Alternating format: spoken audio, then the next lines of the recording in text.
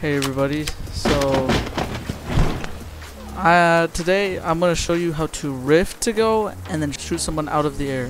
You can do this in public matches as well as in creative matches. So if someone was in a one by one, let's say like this, and you keep on trying to place the wall, but then they keep on replacing it. And if you have a rift in this situation, let me shoot my shotgun. Shotgun has to be reloadable, so I shot it once. Basically what you have to do to shoot them out of the air while you're in the rift, you need a rift. And right when your rift finishes, you gotta click the reload button and then shoot. So like this. I'm not gonna rift, but then reload and then shoot. It'll give you the animation that you're reloading in the air, and um, it will let you shoot. So let me show you. Alright, this is messed it up. Alright, well I messed that attempt up. Um, let's try again. As you can see, I shot the shotgun and it is now at 8 bullets. With the radius of the rift, when it catches someone, if someone's in the box, you can pick them up and do that in the air.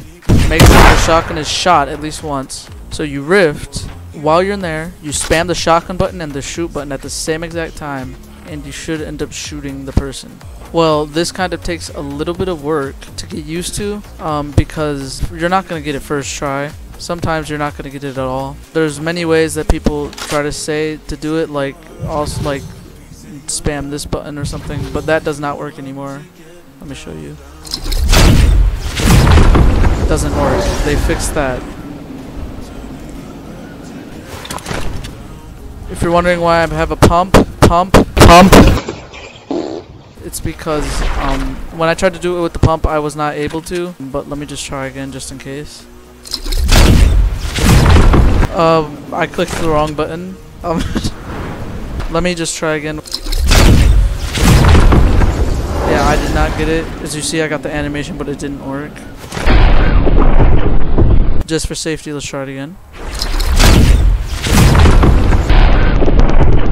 If you're doing this in creative mode, you're better off using the combat shotgun because the pump doesn't seem to work. We can try it with the blue pump. Maybe that would work. Let's try it. Alright. Make sure it has to be reloaded.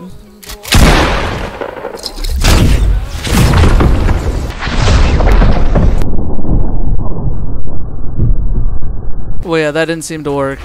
Um, let's try it again just in case. Yeah, it doesn't seem to work with any of the pumps, so you're better off using the combat shotgun. You can still do it with the tac shotgun and the combat shotgun, so whatever one you prefer, you can do it with both. It's just not the pump, sadly. I know this is not one of my normal videos, but I just wanted to show it to people, you know, just in case you wanted to know it. Hopefully this doesn't get patched, because um, I just figured this out today. but yeah, thank you for watching, and uh, enjoy the Crazy Cat outro.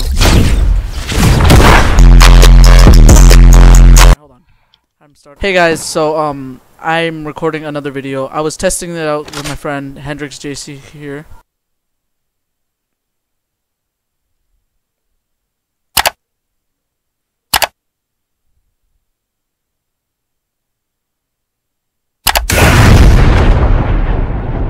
He found out that you can do it with the heavy sniper. All yes. you have to do is spam the reload button. As you can see, it has an animation, and it is 10 times easier because it usually always shoots. So, um, credit to Hendrix J-Ski. Go check out his YouTube channel, as you can see in the right here, just like that.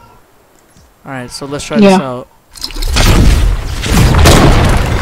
Oh, shoot, we're gonna work today. As you can. As oh, you I, hit, I, I shot. Shot. So we both did shoot, as you can see most likely it's going to be hard to actually hit the shot. As you can oh! see, it worked right there. Yep. So, it is a pretty good strategy with the heavy sniper. It usually works, but most of the time it doesn't hit. Again, mm -hmm. it's better to do it with the combat shotgun. It's harder to get it to work, but most of the time it would hit. the three, the, the four round burst SMG grab it. Alright, everybody. Um, we don't know if this works yet, but we're gonna try it out. Mm -hmm. Go ahead. Okay, shoot.